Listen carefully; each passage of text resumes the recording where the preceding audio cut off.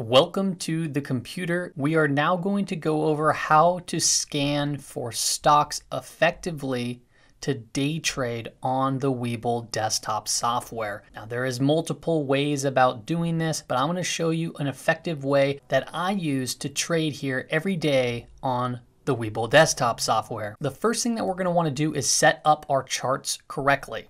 Now to do this, what you want to do is log into Webull and click right here, the stocks tab. Once that loads, you could see potentially a page that looks like this. If your page looks a little bit different, don't worry, we're going to adjust it now. If you scroll to the top right of your page and you hit this square icon known as the grid tab, click that and you'll see nine boxes up here. Highlight four of those boxes and then click like so. That is gonna load up four separate charts. The next step in this process is to hit the grid tab once again and ensure that symbol and indicators are checked. This will allow you to have the same indicators on all the charts and the same ticker symbol will be pulled up as well on all the charts. The reason why I'm doing four of the same charts is because I like to use multiple different time frames when I'm trading stocks. It gives me a good sense of direction as to where the market might be taking it. So when I'm day trading, I like to look at the one minute chart, the five minute chart, the 15 minute chart, and then I like to switch from the 30 to around the daily. I'm gonna use the daily for right now.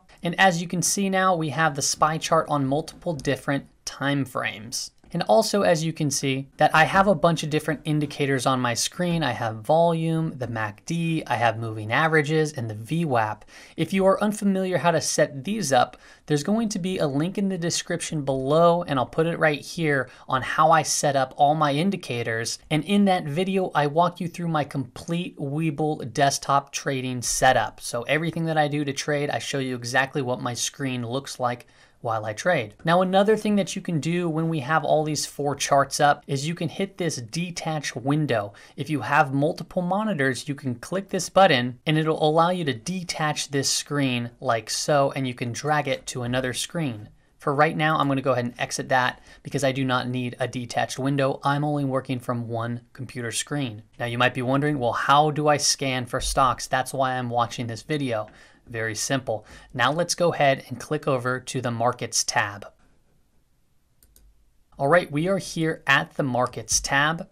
You might be wondering why I didn't go to the Screener tab, which is this right here. Well, we will make another video on how to screen for specific stocks, but for day trading purposes, I like to look at high volume and active stocks to be able to move my money in and out effectively and also find good setups. So we're going to go back to the markets tab. And as you can see, to walk you through it, we have a couple different things going on on the screen that could look very complicated to many people. So I'm going to walk you through it.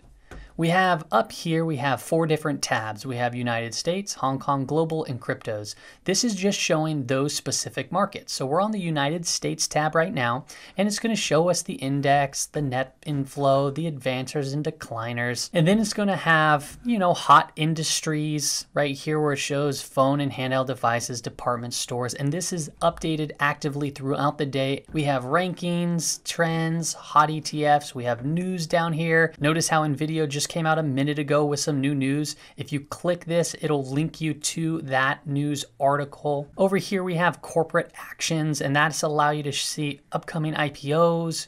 You can click on earnings to see who's displaying earnings that day. You could have dividends as well.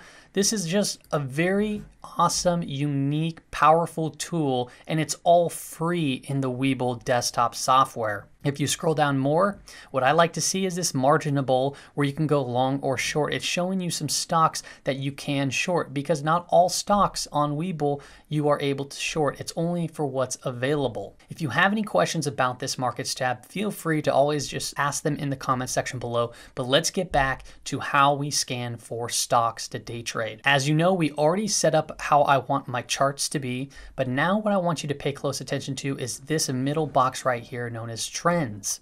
We have trends, five minute ranking highlighted, and we also have extended hours over here. The one I want to focus on for this video is five minute rankings. Now, why is this important? This is showing us a five minute percent change in the current price of whatever stock is highlighted. So if I scroll through this, you can see a list of different stocks that are changing very actively within the five minute time frame.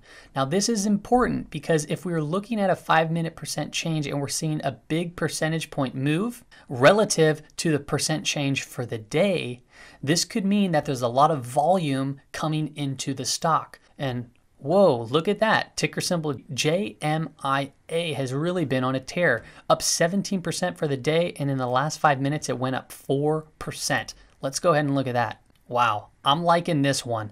As you can see on the one minute time frame, we just had a big shot up in volume, which is creating a bull pull. So typically what you can see in these type of patterns is you can see it potentially consolidate and then break above a level of resistance. I'm gonna go ahead and actually draw in a horizontal line at $15 because notice that big round number there, it struggled to get above. So potentially if we get some consolidation, we might see a break above 15 that can take this stock even higher. On the daily time frame, Whoa, look at that thing go. It is clearly in bullish context. On the five minute time frame, also in bullish context. And it's kind of pulling back right now to a level of support right here at about 1468. Then on the 15 minute time frame, it also here is in nice bullish context moving up, but it looks like that $15 level is getting a little toppy. So how would I play this? Well, let's go ahead and hop into my trading tab. I'm gonna do paper trading right now. I don't wanna do a live trade while I'm filming a video. All right, so I am here at ticker symbol JMIA, paper trading, and I have the SPY chart down here. As you can see, I always keep an eye on the SPY while I'm trading. Now, if I look at the SPY, it looks like, hey, if we get a break above this 323.73, that very well might take this stock even higher. So as you can see, we're having the pretty significant pullback in ticker symbol JMIA. So I'm gonna go ahead and wait here just a little bit. Let's see if the price can break above $15. Now, because I'm paper trading, let's pretend if it does break above $15, I'm gonna go ahead and enter into that position for a move to the upside. To clear up the screen, I'm gonna go ahead and remove the moving averages just to see the screen a little bit clearer. All right, let's see what happens.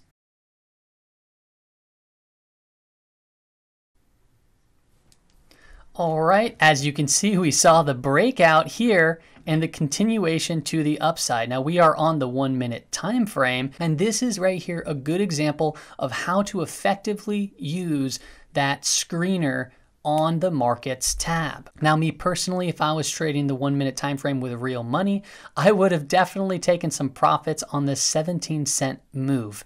So it broke from 15 to $15.17. And as a trader, an intraday trader, we scalp profits very quickly. So that move right there would have resulted in some profits.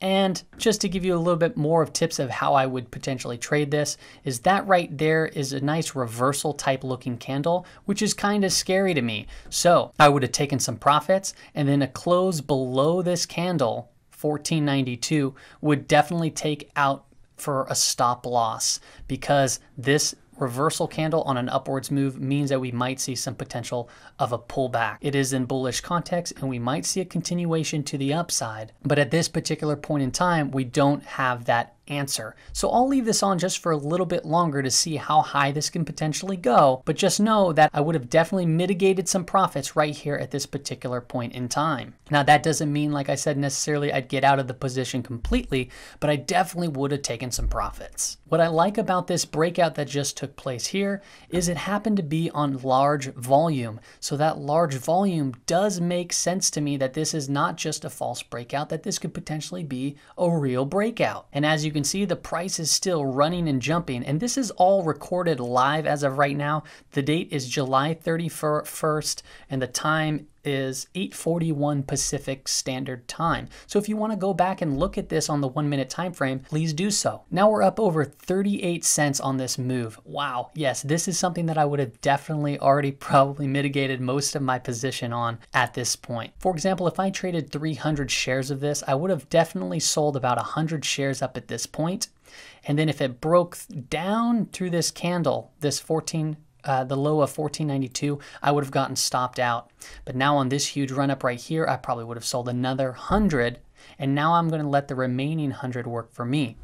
But how do I manage my stop loss moving forward on this trade? I just move my stop loss now up to the low of each candle. So now my stop loss would be where my entry point is. So then at this point, it's not a question of will I make money, it's a question of how much money will I make on this trade. So let's go ahead and continue this monster run up here on ticker symbol JMIA. Right now it's creating another bull flag, so we might see another pop up to the upside. Look at that thing go. Absolutely stunning. So now my stop loss would be right here at about 1517. I'm going to go ahead and draw a white line here just so you can follow along. Now my stop loss is going to move just a little bit higher to 1527. Why? Is because that's the low of this candle. Every time a new candle forms, I move my stop loss up or I get stopped out. This is how you maximize profits. Now we're getting a real big run up here, so I don't want to see the price drop all the way down. So I'm actually going to move my stop loss up to 1541 now. Why am I doing that? It's because now I really want to make sure that I keep in these profits. And there you go. I just got stopped out of this position, ticker symbol JMIA. And as you can see right here, this was a pretty big inverted hammer candle and we had a nice pullback. Looks like it's going to be heading lower. Just to recap what we did, I showed you exactly how to set up those four charts on the stocks tab. Then I showed you how to look for specific stocks that are hot and active to trade here on Webull desktop software. After that, we then brought you into this ticker symbol to my live trading screen, paper trading screen, to show you in action how this actually looks. And as you can see, the process of which of moving up my stop loss, we got that pullback. So this is why it's very important to always monitor your risk and mitigate while the price is moving higher. All right, everybody, that's all I have for you. If you have any questions, please leave them in the comment section below. See you later.